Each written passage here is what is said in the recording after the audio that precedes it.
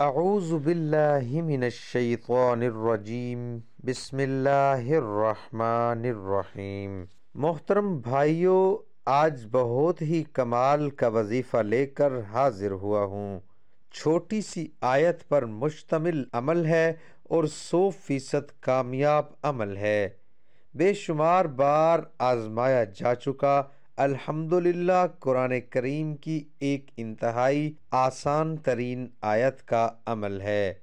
वो आयत अगर तीन बार पढ़कर दम कर दें और उसके बाद अगर किसी बंदे से बात करेंगे तो इन ताला वो बंदा जितनी भी सख्त बात होगी, जितनी भी नागवार बात उसकी तबीयत के खिलाफ होगी, फिर वो मानने के लिए मजबूर हो जाएगा। इतनी ज़्यादा पावरफुल ये आयत है, इस आयत को पढ़कर जाएँ इन ताला कभी भी भी नाकामी का सामना नहीं होगा। बेशक कुरान पाक में हर मसले का हल मौजूद है। अगर आप कामिल यकीन और मुकम्मल ईमान के साथ कुरान पाक की आयत और उनसे मदद लें तो इन ताला ज़रूर कामयाबी मिलती है। आते हैं अमल की जानब। आपको मैंने लिख के दिखा दी है। आपको स्क्रीन पर आपको कुरान पाक की खूबसूरत तरीन आयत मुबारक लिखे नज़र आ रहे हैं। सूरत रहमान की बार बार दोहराई जाने वाली आयत है। हर कोई इस आयत से वाकिफ़ है। हर किसी को ये आयत याद है हर कोई इस आयत को पढ़ना पसंद करता है और जो जो कुरान पाक पढ़ते हैं, उनको बिल्कुल इस आयत का पता होगा कि तुम मेरे रब की कौन कौन सी नेमतों को छुटलाओगे। इसका तर्जमा है, हर एक को तर्जमा भी पता है, याद भी है।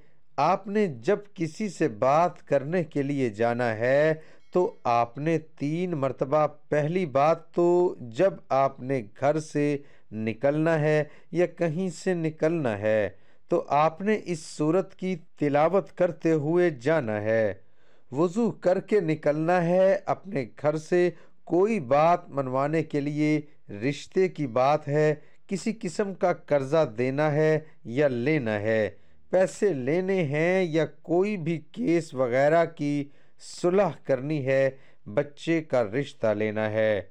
तो इस आयत को आपने रास्ते में पढ़ते जाना है और सलाम दुआ करके आपने तीन मरतबा पढ़ के सिर्फ़ उसी से बात करनी है, किसी और से बात नहीं करनी। तीन तीन मरतबा ये आयत पढ़ के, फबी अय आला रबी कुमातुकज़िबान आपने तो इससे बात करनी है, ये तीन मरतबा पढ़ के, उसी बंदे से मुखातिब होना है, जिससे आपने बात मनवानी है। किसी और से बात नहीं करनी, तीन मरतबा पढ़कर डायरेक्टली उस बंदे से आपने बात करनी है। दरमियान में किसी और बंदे से मुखातिब नहीं होना, बेशक आप दूसरे लोगों से बात करते रहें, लेकिन बात मनवाने वाले बंदे से मुखातिब होने से पहले तीन मरतबा इस आयत को पढ़ लें। इन ताला बहुत ज़रूर असर होगा। आप लोग सवाल करेंगे कि अगर बंदा दूर हो तो आपने नब्बे मरतबा इस आयत मुबारक को रोज़ाना पढ़कर उस बंदे की तस्वीर पर दम कर देना है और अव्वल तीन तीन मरतबा दरुशरीफ पढ़कर इस अमल को करें। इन जिस मकसद के लिए इस अमल को करेंगे इन आपका मकसद पूरा होगा। मोहतरम भाइयों, कोई भी अमल करें या वजीफ़ा करें तो आप नमाज़ का अहतमाम लाजमी करें, क्योंकि कोई भी वजीफ़ा नमाज़ के बगैर नामुकम्मल होगा।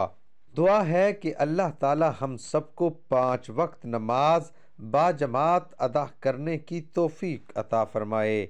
मेरी अल्लाह ताला से दुआ है कि जो लोग परेशान हैं, जो लोग कारोबार की वजह से परेशान हैं, उनकी परेशानियाँ दूर फरमा। या जो लोग बीमार हैं, या अल्लाह उनको सेहत अता फरमा। जो काम की वजह से परेशान हैं, उनको हलाल रिस्क वाफिर मकदार में अता फरमा। या अल्लाह, जो लोग जिन जिन हाजात को लेकर वज़ाइफ करते हैं, उनकी जायज़ हाजात को पूरा फरमा। हमारे मुल्क पाकिस्तान की हिफाजत फरमा और हमारा खात्मा ईमान पर फरमा। दुआ है कि अल्लाह ताला मेरा सुनाना, आपका सुनना, अपनी बारगाह इलाही में कबूल और मंजूर फरमाए। आमीन, सुम्मा आमीन। तमाम दोस्तों से गुजारिश है कि अल्लाह ताला के निन्यानवे नामों में से एक नाम कमेंट में ज़रूर लिखें।